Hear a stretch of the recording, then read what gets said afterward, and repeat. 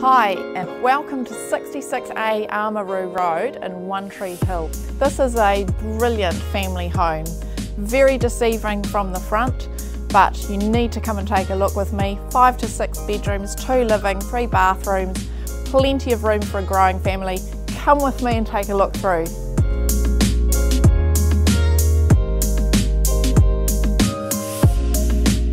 I absolutely love this room. It's a formal lounge. You've got your open plan dining and living out here as well. But this flows out to this lovely north facing, sunny, established gardens and all the trees are established. It's beautiful.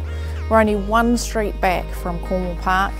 It's a prime location in this area. With five bedrooms and a study, this property has plenty of options for your growing family. Plus from the master bedroom, you've got lovely views to One Tree Hill.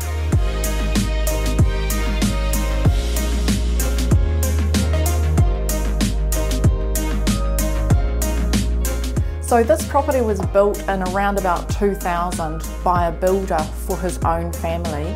This house is solid concrete, okay, so it's not going anywhere and this gorgeous kitchen has been updated about three years ago. So it's got some lovely European appliances, all soft close drawers. You'll just love this.